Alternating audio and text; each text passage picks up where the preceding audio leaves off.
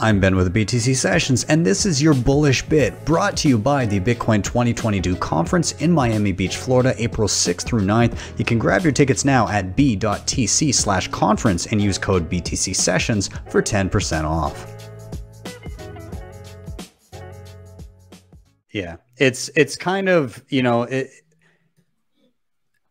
the fiat system could fix itself, but they're worried about the pain of doing so, right? Like the yeah. the the pain of pulling away that punch bowl and and getting back to reality and they've gotten into this mindset of we can just postpone it forever or like kick it down the road for somebody else to deal with and it's that aversion to tiny bits of pain that have built up so huge that a dose of reality like bitcoin dropped on the world is going to cause a lot of pain in order to get us back to uh, some semblance of sanity in the world of where value is actually placed. And all of the fake value will just kind of uh, disappear. It'll it'll just evaporate. And that's going to be tough for people to stomach because a lot of people are fake wealthy.